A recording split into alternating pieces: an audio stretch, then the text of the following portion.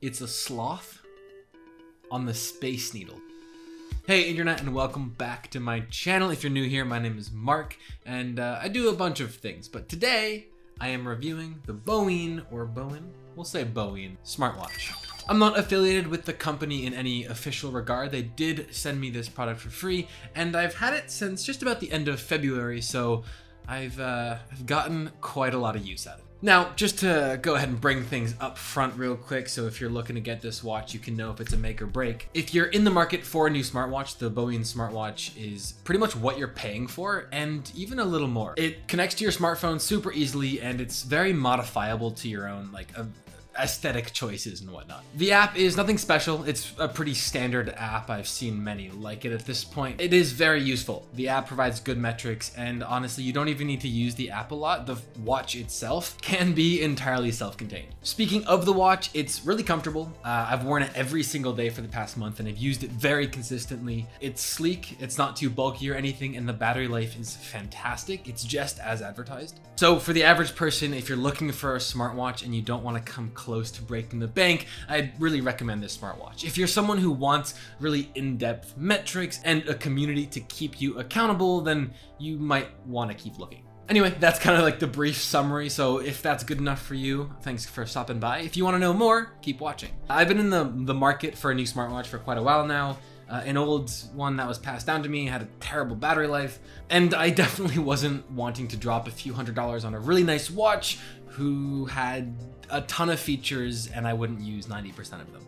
I'm an average guy, I work out pretty consistently, but I don't get too far into the metrics. We'll speak about the metrics, the app, and uh, like a, like when I went on a run and how the watch performed on that run. But let's start out with the, the physical appearance and build of the watch itself. As you can see, uh, it's honestly really comfortable. It's not like you notice it while you're wearing it. The strap isn't too rough or anything. The circular face is super nice and standard. It's sleek. It's hard to smudge it. I just thought about that. I haven't smudged it. It's effectively the exact size and like appearance I was looking for in a smartwatch. I didn't want the rounded square face or anything. The two buttons on the right side are super minimal. You don't have to do any complex setup. The watch is touchscreen, uh, which allows those buttons to be super simple. I've never had like interactivity issues when swiping on the watch face. The battery is as advertised and excellent. It goes about 10 days with 25 to 50% brightness. I've varied it. Some stats. With a slow charging port, it went from 0% to 100%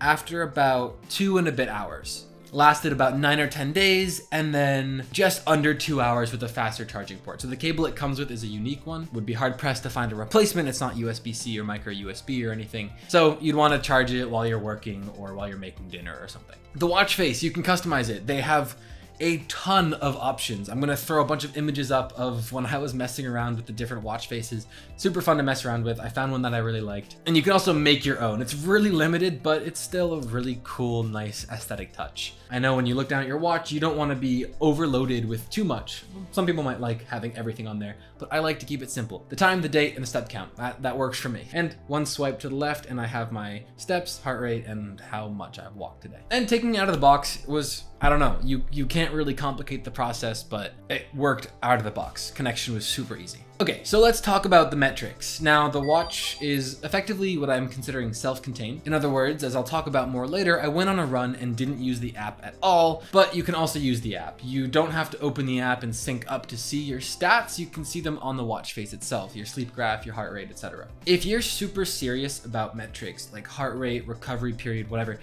this isn't the watch for you. You know, if you're training for a marathon, you might want to go with Garmin or something else. Again, I just like the standard metrics. Even now with the watch, I'm still someone who says, oh, Google Maps is 3.2 miles and I ran that in 28 minutes. Well, 28 divided by three is just above nine, so nine minute mile. If you're really big on community, uh, other people doing the same thing, well, you might want to go to Fitbit or something where they have a super active community page. I'm using the app without making an account and it's still fully functional. And I have been able to share my running progress with some friends, which you can do super easily from the app. They have actually some pretty cool options for what you can show. So if you have your own community on Discord or you text your sister your run, the app makes it really easy to export things. One thing I did want to note is that the self-contained metrics of the watch are pretty off. And I did notice this with an old Fitbit watch as well. It must not use GPS to calculate. I know Garmin does. That's literally their brand. But anyway, the watch said like 2.6 miles or so. I'll have screenshots up on screen to clarify, but the run itself was 3.2 miles according to Google Maps. However, when I used the app, the app reported it specifically, and in fact, the app reported some really cool statistics. And lastly, the heart rate monitoring is efficiently 24 7. and the sleep tracker, uh, it looks really accurate. I don't know how to test the accuracy. I get the same sense of, oh, that looks right as I did when I used Fitbit. I don't know how they calculate that. It's, you know, something. The statistics are very accurate. When I run, I notice my heart rate go up. When I go to sleep, I can check the graph on the watch and I can see my evolution over time in the app. And speaking of, let's jump into the app. So the app is called GloryFit.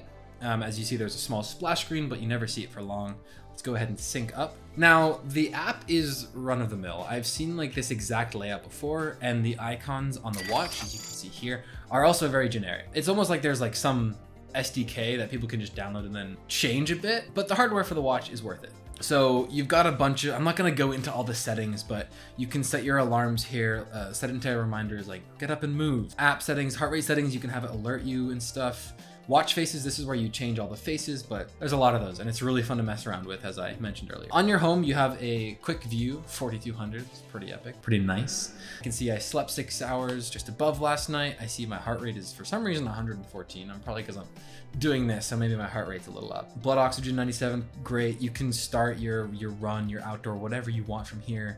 Uh, and then there's like a profile, but I didn't mess too much with that. There is a training thing, so you can set your steps, you can set your goal. One thing that I do want to mention though is SMS, you can get texts and they do show up very well. When your goal triggers, by the way, it shows up on your watch, as you can see on the screenshot here. If you go to app, you can get notifications for all these different apps. I despise notifications for more reasons than one. So uh, I've disabled all of them, but just know that those are the apps you can use and integrate with the watch. Again, it reports accurate metrics. Uh, the watch's hardware is in my opinion, really good. And it's comfortable. The, the thing is, with more notable brands, Garmin, Fitbit, Whoop, whatever, what you're paying for is largely the app. The premium comes with how in-depth the app is, community, statistics, badges, all that stuff. With this app, you don't quite get that. If you're training for a marathon or have a big group of friends who all have one brand of a watch, you're probably going to want that brand as well. That's just a general rule of society, if you will. So with this, you don't get that app. But if you're a person like me and you don't want to shell out a few hundred dollars for a super nice watch, just so you can have some average metrics, this watch is honestly fantastic that's effectively the entire review. The start of the video had a summary which I think still stands true, and I hope the rest of my reportings here deliver. The Boeing smartwatch is pretty much exactly what the Amazon reviews say, and they say five stars because it's exactly what you're paying for, and I'd even argue you're getting a little more out of it, especially when it comes to the hardware. After seeing a typo in the box, my expectations kind of lowered all of a sudden, but those quickly rose again as I've been wearing it daily and will continue to do so for a while. I haven't had to charge the watch every night. I can go swim with it, I can take a shower with it, I can use it to track my sleep metrics if I choose to care about those one day. And it gives me metrics that for me are more than good enough, and it does that all while not breaking the bank. There is a link in the description if you'd like to check it out. It's just an affiliate link on Amazon. Again, I'm not affiliated with Boeing, but thank you to them for sending me this watch. It found me at a perfect time. If you do end up using it, or if you have one of your own, or you have some of your own tech you think I might want to check out as the person I am, I'd love to hear it in the comments down below. But anyway, thanks for watching. Don't forget to subscribe and like on your way out. Maybe check out some of these videos over here if you're into tech stuff. And other than that, I will see you in the next one. So have a good one. And as always, don't forget to stay awesome. See you next week.